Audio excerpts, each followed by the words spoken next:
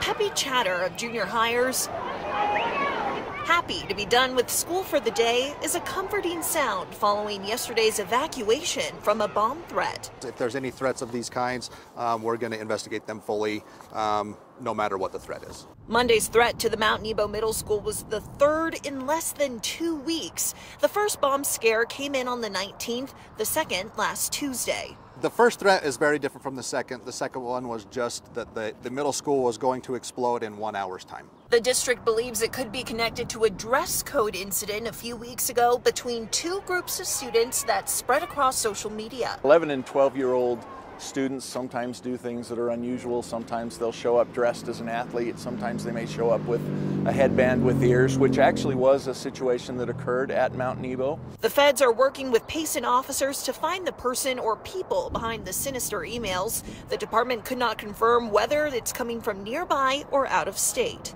The district has now upped its security until school's out May 23rd. Rather than the blurry, grainy video that you sometimes get from security cameras, we now have HD video in our schools so that we can really see what's happening. That, as well as alarm systems, a stationed officer here every school day, more people from the district, and additional counseling resources.